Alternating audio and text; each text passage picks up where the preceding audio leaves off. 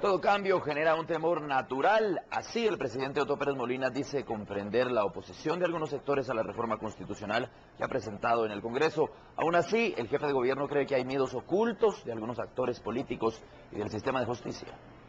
Los invito a que lean a profundidad los 35 artículos y los invito para que si quieren tener alguna discusión, ya sea en el Congreso o también en la Presidencia de la República, las puertas van a estar abiertas porque nosotros estamos dispuestos a discutir con cualquiera. Así se pronunció el presidente Otto Pérez sobre las reformas constitucionales que no han sido bien recibidas por algunos sectores, entre ellos el CACIF y la Corte Suprema de Justicia. Obviamente hay sectores que tienen temor de que nosotros reconozcamos cuál es la naturaleza de nuestra nación, que es una, es un carácter de la nación que es eh, pluriétnico, que es multilingüe, que es multicultural. Hay sectores que no lo dicen abiertamente, pero que no quieren que este reconocimiento quede en la Constitución Política de la República. Según el mandatario, los opositores de las reformas no precisan en qué artículos discrepan. En la mayoría de los sectores que, o los pocos sectores que se han pronunciado en contra de la reforma, usted va a encontrar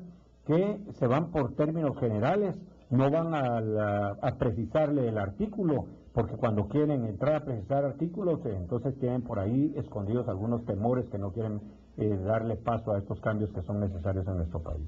En el caso del sector justicia, Pérez cree que el Poder Judicial no quiere separar las funciones de administración con la repartición de justicia, una de las propuestas. Nosotros queremos una Corte Suprema de Justicia que se dedique a impartir justicia y que haya una Cámara diferente solo para la administración del presupuesto y que no tenga una cosa que ver con la otra.